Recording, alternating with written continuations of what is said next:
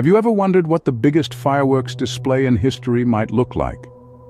Well, imagine no more. Today, we pull back the curtain on Operation Fishbowl, a series of high-altitude nuclear tests conducted in 1962. This was no ordinary pyrotechnic display. It was a full-blown spectacle of nuclear prowess, staged by none other than the United States. Fishbowl was part of a larger program, the intriguingly named Operation Dominic. Now this wasn't a casual endeavor. It was the product of a time when the stakes were high and the tensions even higher. The Cold War was in full swing, and the space race had just begun. Amid this tableau of global politics and technological competition, the US planned a show of strength that would light up the sky like never before. But why the name Fishbowl, you ask? It's a fitting moniker, really. The operation's high-altitude detonations created an effect not unlike a fishbowl turned upside down in the sky. The world watched as the atmosphere itself became the stage for this dramatic demonstration of nuclear capabilities. The operation consisted of several tests, each with its unique codename. Names like Starfish Prime, Bluegill Triple Prime, and Kingfish might sound like they belong in a comic book, but these were serious, groundbreaking experiments that pushed the boundaries of what was possible. The fishbowl tests were designed to probe the upper limits of the Earth's atmosphere to understand the potential of nuclear weapons in this new frontier of the space age. The operation sought to answer questions about the effects of nuclear explosions at high altitudes and how they could potentially be used for both defensive and offensive strategies. So let's dive into the details of this incredible operation that was quite literally out of this world. It's a story of scientific curiosity, military might, and the unyielding human spirit. A story that takes us from the depths of the Cold War to the edge of space and back. So buckle up and get ready for a journey through time and the stratosphere as we uncover the secrets of Operation Fishbowl. Like every major operation, Fishbowl also started with a plan. Just as a blueprint is to an architect, so was the planning phase to Operation Fishbowl. This pivotal stage involved meticulous detailing and strategic thinking, all geared towards one purpose, to understand the effects of nuclear explosions in the upper atmosphere. But why? Why were the skies chosen as the theater of this operation? The answer lies in the geopolitical landscape of the early 60s. It was the height of the Cold War, a time when the world was divided into two camps, each armed to the teeth with nuclear weaponry. The United States, eager to maintain strategic advantage, was keen to explore the military applications of nuclear explosions in the upper atmosphere. They sought to understand how these detonations could impact communication systems, disrupt enemy missiles, and shape the future of warfare. Operation Fishbowl was thus born out of a mix of scientific curiosity and military necessity. The planning phase involved a series of intricate steps, starting with the selection of a suitable location for the tests. The Pacific Proving Grounds, a remote site in the Pacific Ocean, was chosen for its isolation and vast expanse of water, ideal for mitigating the effects of nuclear fallout. The plan outlined a series of high-altitude nuclear tests, each designed to study different aspects of nuclear detonations. Several agencies were roped in, including the Department of Defense, the Atomic Energy Commission, and the Air Force Special Weapons Center. The team worked tirelessly, drawing up schedules, coordinating logistics, and ensuring that every single detail was attended to. The objectives were clear. To understand the effects of nuclear explosions in the upper atmosphere, to test the resilience of military equipment in the face of such explosions, and to explore the potential for a new kind of nuclear warfare. It was a formidable task, one that required an enormous amount of planning and preparation. With the plan in place, it was time to move on to the execution. Now let's step into the execution phase, where the sparks really started to fly. Operation Fishbowl was a series of high-altitude nuclear tests conducted by the United States in 1962 as part of the larger Operation Dominic Nuclear Test Program. The operation consisted of five planned tests, Bluegill, Starfish, Kingfish, Checkmate, and Tightrope. However, not all went according to plan. The first test, Bluegill, was set to launch on June 2nd. The rocket carrying a W-50 warhead was launched from Johnston Island in the Pacific, but the mission had to be aborted. The rocket's engines failed to ignite and the test was a no-go. But failure is often the stepping stone to success. After the bluegill misfire, the team went back to the drawing board, addressing the issues, and returned just 20 days later for the Starfish test. On June 19th, a Thor rocket carrying a W-49 warhead and a Mk-4 re-entry vehicle was launched. However, just as the audience held their collective breath, the rocket malfunctioned and had to be destroyed mid-flight. Undeterred, the team regrouped, and on July 9th, they were ready for Starfish Prime. The Thor rocket was launched successfully, and the 1.4 megatons of TNT equivalent nuclear warhead detonated at an altitude of about 250 miles, creating a spectacular light show visible from Hawaii, almost 900 miles away. But it wasn't just for show. The explosion caused an electromagnetic pulse that resulted in power outages in Honolulu and damaged or destroyed a significant number of satellites in low Earth orbit. Following the mixed success of Starfish Prime, the team moved on to the Kingfish test in late July. However, this test too was not without its problems. The rocket suffered a failure in the thrust vector control system and the mission had to be aborted. In October, Checkmate was carried out successfully, detonating a small device at a very high altitude, about 480 kilometers. The explosion created a brief flash of light that could be seen over a large area of the Pacific Ocean. The final test, Tightrope, was a much smaller detonation carried out in November. It was the last of the fishbowl tests and marked the end of the Operation Dominic series. Throughout the execution of Operation Fishbowl, the team faced numerous challenges. There were technical difficulties with the rockets. The high-altitude detonations presented unique problems, and there was the ever-present danger of nuclear fallout. But each challenge was met with determination and ingenuity. Despite the setbacks, the team pressed on, refining their methods and learning from their mistakes. The operation was not just about detonating nuclear devices high in the atmosphere. It was a complex and meticulously planned scientific endeavor aimed at understanding the effects of high-altitude nuclear explosions on radio communication the behavior of the Earth's magnetic field, and the durability of man-made satellites. It was about pushing the boundaries of human knowledge and capability in the nuclear age. Despite the challenges, the operation was carried out, leaving a lasting impact.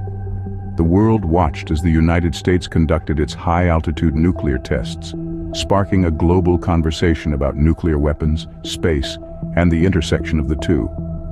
The tests led to a better understanding of the Earth's magnetic field, the effects of nuclear explosions on it, and how these explosions could potentially be used in warfare.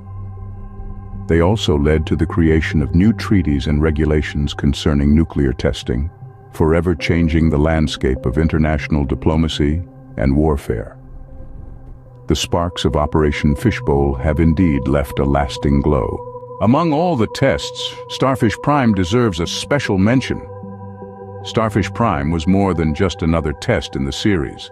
It was an event that shocked the world and changed the course of history. This high-altitude nuclear test, conducted on July 9, 1962, was designed to investigate the effects of nuclear explosions in space. The bomb, with a yield of 1.4 megatons, was detonated at an altitude of about 250 miles, far higher than any previous test.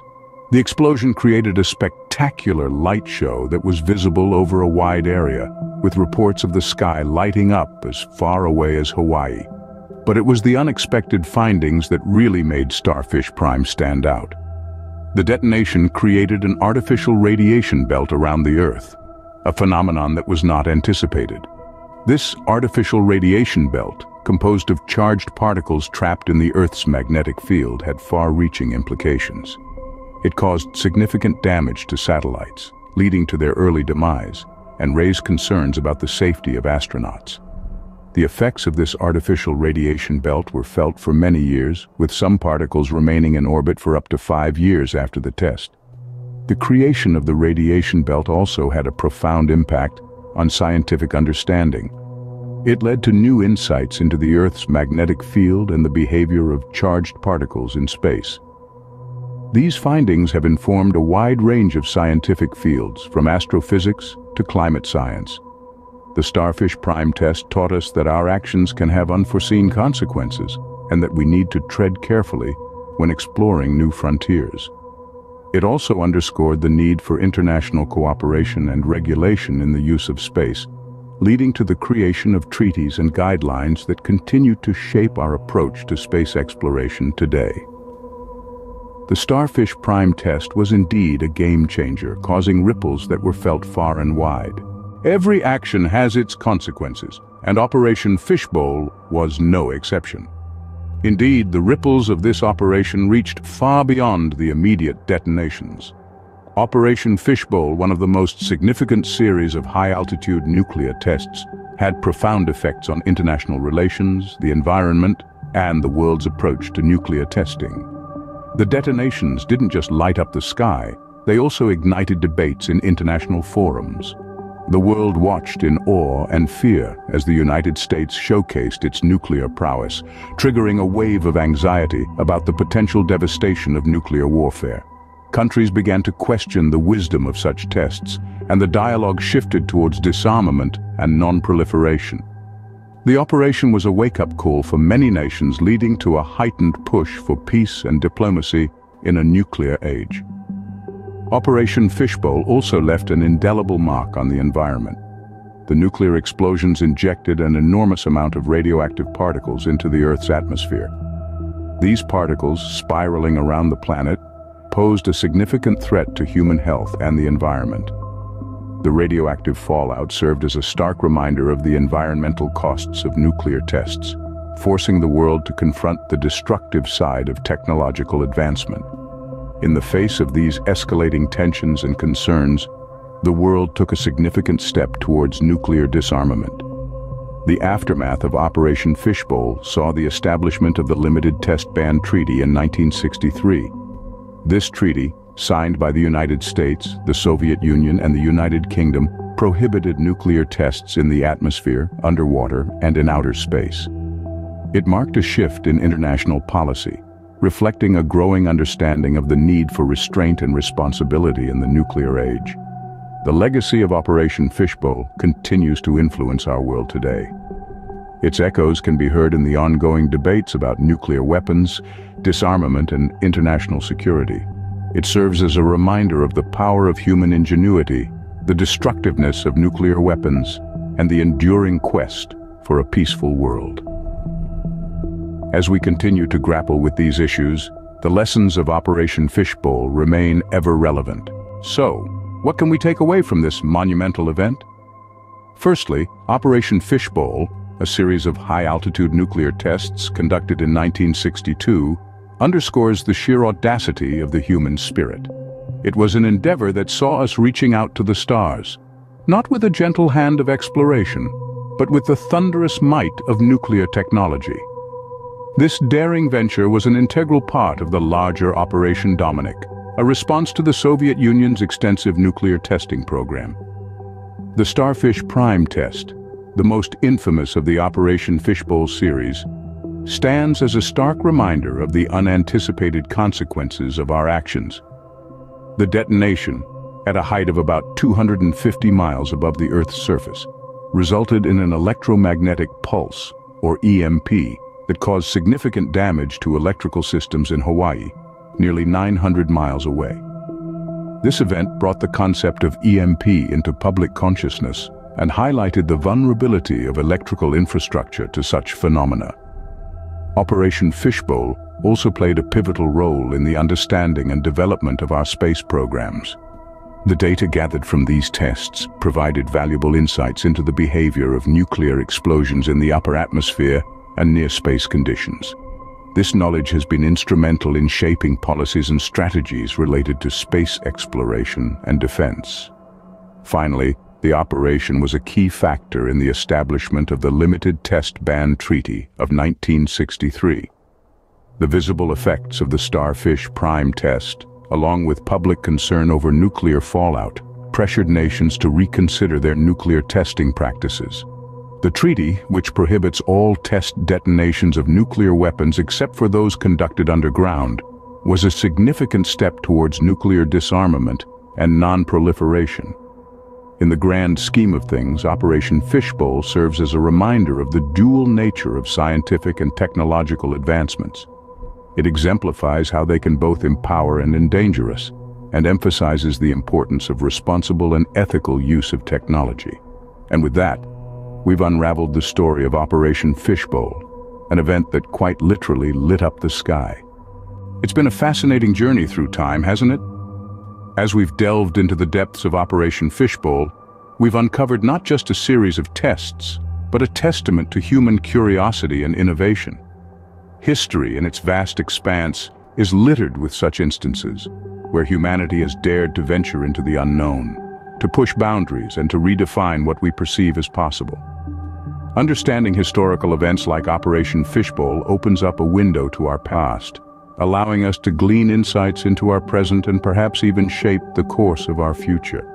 This serves as a reminder of our collective potential when we channel our efforts towards a common goal. But our journey doesn't stop here. There's a universe of history waiting to be explored, a myriad of stories waiting to be told. So, let's continue to delve deeper, to learn more, and to satisfy that innate human curiosity that drives us forward. Thank you for joining us today. Stay curious and keep exploring the fascinating annals of history.